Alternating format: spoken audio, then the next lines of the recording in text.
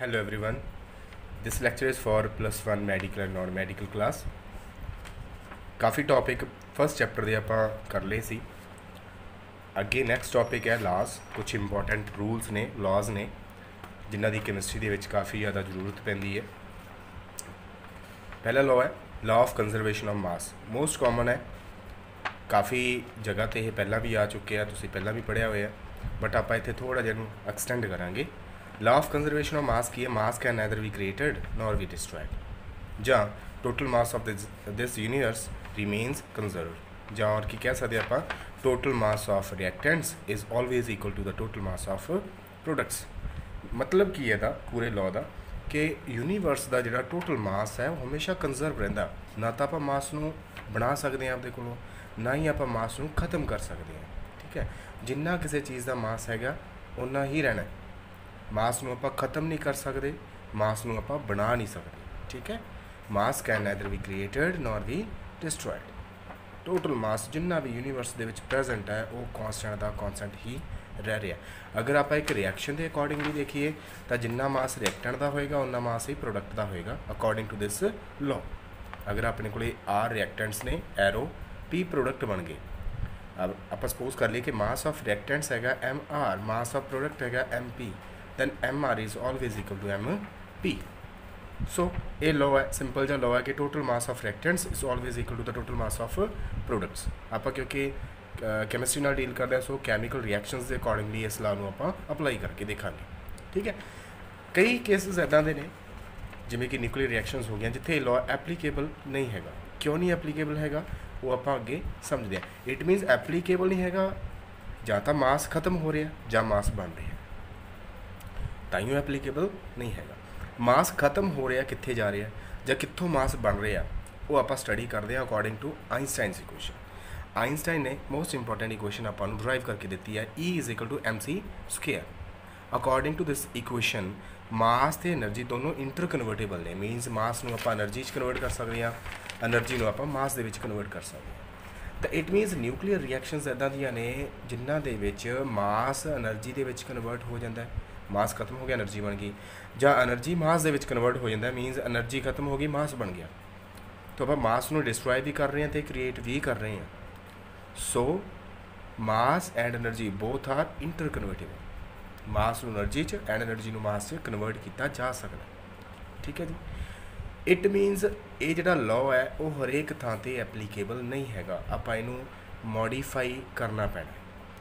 ਤਾਂ ਆਪਾਂ ਇਹਨੂੰ ਮੋਡੀਫਾਈ ਕੀਤਾ ਲਾਅ ਨੂੰ, ਤਾਂ ਨਵਾਂ ਲਾਅ ਕੀ ਬਣ ਗਿਆ? Law of conservation of mass and energy ਤਾਂ ਆਪਾਂ ਹੁਣ ਇਹ ਬੋਲ ਸਕਦੇ ਹਾਂ ਕਿ total sum of mass and energy ਇਸ ਯੂਨੀਵਰਸ ਦਾ ਉਹ ਕਨਸਟੈਂਟ ਰਹਿੰਦਾ ਕੰਜ਼ਰਵ ਰਹਿੰਦਾ। ਅਗਰ ਮਾਸ ਘਟਦਾ ਤਾਂ એનર્ਜੀ ਵਧਦੀ ਹੈ, ਅਗਰ એનર્ਜੀ ਵਧਦੀ ਹੈ ਤਾਂ ਮਾਸ ਘਟਦਾ ਹੈ। ਠੀਕ ਹੈ? ਦੋਨੋਂ ਇੰਟਰਕਨਵਰਟੇਬਲ ਨੇ, ਤਾਂ ਮਤਲਬ ਦੋਨਾਂ ਦਾ ਸਮ ਕੀ ਰਹਿੰਦਾ ਹੈ? ਕਨਸਟੈਂਟ ਰਹਿੰਦਾ। ਜਿਵੇਂ ਆਪਾਂ ਕਹਿ ਦਈਏ ਕਿ ਓਵਰਆਲ ਸਮ ਕਿਸੇ ਕੁਆਂਟੀਟੀ ਦਾ 10 ਹੈ। ਉਹ 10 ਆਪਾਂ 2 8 ਕਰਕੇ ਵੀ ਬਣਾ ਸਕਦੇ ਹਾਂ 8 2 ਕਰਕੇ ਵੀ ਬਣਾ ਸਕਦੇ ਹਾਂ 5 5 ਕਰਕੇ ਵੀ ਬਣਾ ਸਕਦੇ ਹਾਂ 7 3 3 7 ਕਰਕੇ ਵੀ ਬਣਾ ਸਕਦੇ ਹਾਂ। ਮੀਨਸ ਆਪਣੇ ਕੋਲ ਅਲੱਗ-ਅਲੱਗ ਵੇਜ਼ ਹੈਗੇ ਨੇ। ਬਟ ਓਵਰਆਲ ਸਮ ਕੀ ਰਹਿੰਦਾ ਹੈ? 10 clear it means mass energy ਆਪਸ ਵਿੱਚ ਇੰਟਰਕਨਵਰਟੇਬਲ ਹੈਗੀਆਂ ਨੇ ਚੇਂਜ ਕਰ ਸਕਦੀਆਂ ਨੇ ਨੋ ਪ੍ਰੋਬਲਮ ਬਟ ਜਿਹੜੀ ਇਹਦੀ ਟੋਟਲ ਸਮ ਦੀ ਵੈਲਿਊ ਹੈ, ਉਹ ਹਮੇਸ਼ਾ ਕੀ ਰਹਿੰਦੀ ਹੈ? ਕਾਂਸਟੈਂਟ ਰਹਿੰਦੀ ਹੈ ਕੰਜ਼ਰਵ ਰਹਿੰਦੀ ਹੈ। ਕਲੀਅਰ ਨਾਓ ਨੈਕਸਟ ਲਾਅ ਹੈ law of definite composition or definite proportion by mass. ਠੀਕ ਇਹਦੇ ਵਿੱਚ ਕੀ ਹੈ ਅਗਰ ਆਪਣੇ ਕੋਲੇ ਕੋਈ ਪਿਓਰ ਕੈਮੀਕਲ ਕੰਪਾਊਂਡ ਹੈ ਇਹ pure chemical compound always contains same elements combined together by fix proportion by weight. ਇਹਦਾ ਲੌਜੀਕ ਕੀ ਹੈ ਬੇਸਿਕ ਕੀ ਹੈ ਅਗਰ ਆਪਣੇ ਕੋਲੇ ਕੋਈ ਪਿਓਰ ਕੈਮੀਕਲ ਕੰਪਾਊਂਡ ਹੋਇਆ ਉਹ ਹਮੇਸ਼ਾ ਉਹੀ ਐਲੀਮੈਂਟਾਂ ਤੋਂ ਮਿਲ ਕੇ ਬਣਦਾ ਜਿਹੜਿਆਂ ਤੋਂ ਪਹਿਲਾਂ ਮਿਲ ਕੇ ਬਣਿਆ ਹੋਇਆ ਤੇ ਉਹ ਐਲੀਮੈਂਟ ਆਪਸ ਵਿੱਚ ਕੰਬਾਈਨ ਕਰਨਗੇ, ਜੁੜਨਗੇ, ਡੈਫੀਨੇਟ ਪ੍ਰੋਪੋਰਸ਼ਨ ਬਾਈ weight ਦੇ ਨਾਲ। ਆਪਾਂ ਇਹਨੂੰ ਐਗਜ਼ਾਮਪਲ ਦੇ ਨਾਲ ਸਮਝਦੇ ਹਾਂ। ਫੋਰ ਐਗਜ਼ਾਮਪਲ ਕਾਰਬਨ ਡਾਈਆਕਸਾਈਡ ਨੂੰ ਆਪਾਂ ਪ੍ਰੋਡਿਊਸ ਕਰਨਾ ਹੈ। ਕਾਰਬਨ ਡਾਈਆਕਸਾਈਡ ਨੂੰ ਆਪਾਂ ਪ੍ਰੋਡਿਊਸ ਕਰਨਾ। ਲੱਕੜ ਲੈਤੀ, ਉਹਨੂੰ ਜਲਾਇਆ ਕਾਰਬਨ ਡਾਈਆਕਸਾਈਡ ਬਣ ਗਈ, ਕਿਉਂਕਿ ਲੱਕੜ ਦੇ ਵਿੱਚ ਕਾਰਬਨ ਹੈ। ਕੈਲਸ਼ੀਅਮ ਕਾਰਬੋਨੇਟ ਲੈਤਾ ਮਾਰਬਲ ਇਹਨੂੰ ਆਪਾਂ ਹੀਟ ਕੀਤਾ, ਕੈਲਸ਼ੀਅਮ ਆਕਸਾਈਡ ਬਣ ਗਿਆ ਤੇ ਕਾਰਬਨ ਡਾਈਆਕਸਾਈਡ ਬਣ ਗਈ। ਸੇਮ ਹੀ ਸੋਡੀਅਮ ਬਾਈਕਾਰਬੋਨੇਟ ਹੈ। ਇਹਨੂੰ ਹੀਟ ਕੀਤਾ ਤਾਂ ਆਪਣੇ ਕੋਲੇ ਕਾਰਬਨ ਡਾਈਆਕਸਾਈਡ ਬਣ ਗਈ। ਤਿੰਨੋਂ ਕੇਸਿਸ ਦੇ ਵਿੱਚ ਆਪਣੇ ਕੋਲੇ ਕਾਰਬਨ ਡਾਈਆਕਸਾਈਡ ਪ੍ਰੋਡਿਊਸ ਹੋ ਰਹੀ ਹੈ।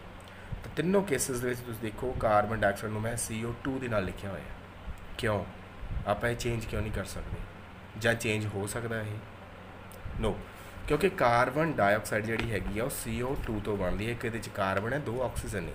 ਕਾਰਬਨ ਤੇ ਆਕਸੀਜਨ ਦੀ ਅਗਰ ਮਾਸ ਦੀ ਰੇਸ਼ੋ ਇਹਦੇ ਵਿੱਚ ਆਪਾਂ ਦੇਖੀਏ ਕਾਰਬਨ ਦਾ ਐਟੋਮਿਕ ਮਾਸ ਹੁੰਦਾ 12 ਗ੍ਰਾਮ ਇੱਕ ਆਕਸੀਜਨ ਦਾ ਹੁੰਦਾ 16 ਗ੍ਰਾਮ, ਤਾਂ ਦੋ ਦਾ ਕਿੰਨਾ ਹੋ ਗਿਆ 32 ਤਾਂ ਓਵਰਆਲ ਅਗਰ ਕੰਪੋਜੀਸ਼ਨ ਦੇਖੀਏ ਤਾਂ ਉਹ ਕਿੰਨੀ ਆ ਗਈ? 3:8 ਮੀਨਸ ਜਦੋਂ ਵੀ ਕਾਰਬਨ ਡਾਈਆਕਸਾਈਡ ਬਣੇਗਾ, ਉਹ ਹਮੇਸ਼ਾ ਕਾਰਬਨ ਤੇ ਆਕਸੀਜਨ ਤੋਂ ਬਣੇਗਾ, ਤੇ ਉਹਦੇ ਵਿੱਚ ਕਾਰਬਨ ਤੇ ਆਕਸੀਜਨ ਦੀ ਰੇਸ਼ੋ ਕੀ ਰਹੇਗੀ? weight ਦੀ ਰੇਸ਼ੋ ਕੀ ਰਹੇਗੀ? 3:8 ਜਿੱਥੇ ਮਰਜ਼ੀ ਕੋਈ ਵੀ ਕੰਪਾਊਂਡ ਪਿਓਰ ਕੈਮੀਕਲ ਕੰਪਾਊਂਡ ਬਣਦਾ ਹੈ, ਤਾਂ ਉਹ ਸੇਮ ਐਲੀਮੈਂਟਾਂ ਤੋਂ ਹੀ ਮਿਲ- ਮਿਲ ਕੇ ਬਣਦਾ ਹੈ, ਤੇ ਉਹਦੇ ਵਿੱਚ ਐਲੀਮੈਂਟਾਂ ਦੇ weight ਦੀ ਪ੍ਰੋਪੋਰਸ਼ਨ ਕੀ ਰਹਿੰਦੀ ਹੈ? ਹਮੇਸ਼ਾ ਸੇਮ ਰਹਿੰਦੀ ਹੈ। ਤੇ ਇਹ ਹੈਗਾ ਲਾ ਆਫ ਕਨਸਟੈਂਟ ਕੰਪੋਜੀਸ਼ਨ ਔਰ ਡੈਫੀਨੇਟ ਪ੍ਰੋਪੋਰਸ਼ਨ ਬਾਈ weight. ਠੀਕ ਹੈ ਜੀ? ਤਾਂ ਇਹ ਦੋਨੋਂ ਲਾਅ ਨੇ। ਇੱਕ ਵਾਰ ਤੁਸੀਂ ਇਹ ਦੋਨੋਂ ਲਾਅ ਲਿਖ ਕੇ ਰੱਖ ਲਿਓ ਸਟੱਡੀ ਕਰ ਲਿਓ ਇਹਨਾਂ ਨੂੰ ਚੰਗੀ ਤਰ੍ਹਾਂ। ਅਗਲੇ ਲਾਅ ਮੈਂ ਨੈਕਸਟ ਵੀਡੀਓ ਦੇ ਵਿੱਚ ਸਾਰੇ ਤੁਹਾਨੂੰ ਕਰਵਾ ਦਾਂਗਾ। ਕਾਫੀ ਕੰਮ ਹੈ ਜਿਹੜਾ ਅਗਲੇ ਵੀਡੀਓ ਦੇ ਵਿੱਚ ਮੈਂ ਤੁਹਾਨੂੰ ਦੇਵਾਂਗਾ ਕੱਲ ਨੂੰ। ਸੋ ਅੱਜ ਇੰਨਾ ਕੀ ਸੀ, ਇੰਨਾ ਕੁ ਪੜ੍ਹਨ ਦੀ ਕੋਸ਼ਿਸ਼ ਕਰੋ। ਤੇ ਮਿਲਦੇ ਨੈਕਸਟ ਵੀਡੀਓ ਦੇ ਵਿੱਚ। Take care and bye